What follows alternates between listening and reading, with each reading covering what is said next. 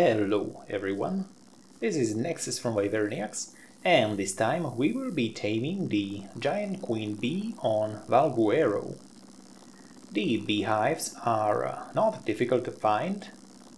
Some can even spawn on the ground like we have found here. Others can be seen hanging on the cliffs and can be harder to reach.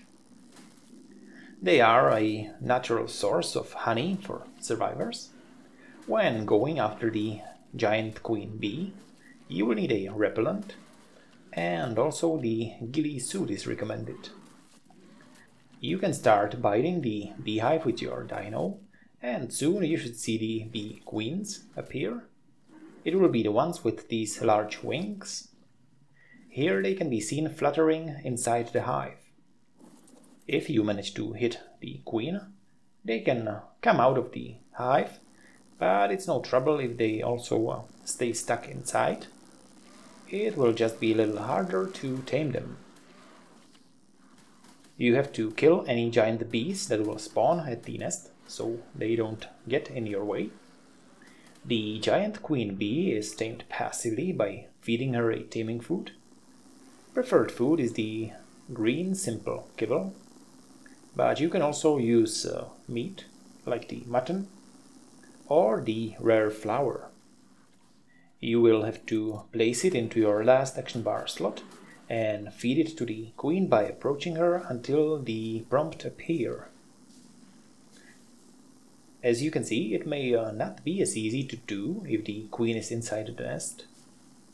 Also, uh, once you manage to get the option, be aware that once tamed, she may get attacked by any other wild queen or bee, so you will have to be ready to break the beehive open.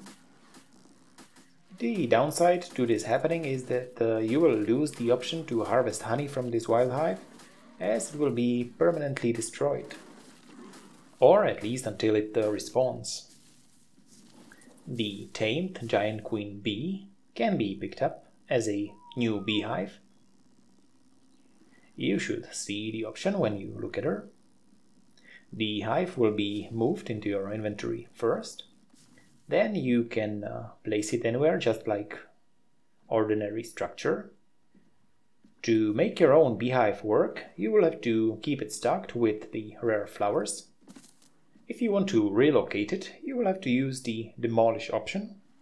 Don't worry, your queen bee will merge to be picked up again. If you're using the S Plus mod, you can also craft the beehive with resources. You will need rare flower, honey, thatch and fiber. However, when destroyed, it will not yield a giant queen bee. The domesticated beehive is a great source of uh, honey. And that's all. Hope you've enjoyed this taming video. Feel free to leave a comment or uh, like. Also, click on the subscribe button to make sure you don't miss out on more Ark Survival Evolved fun. Thank you for watching and see you next time!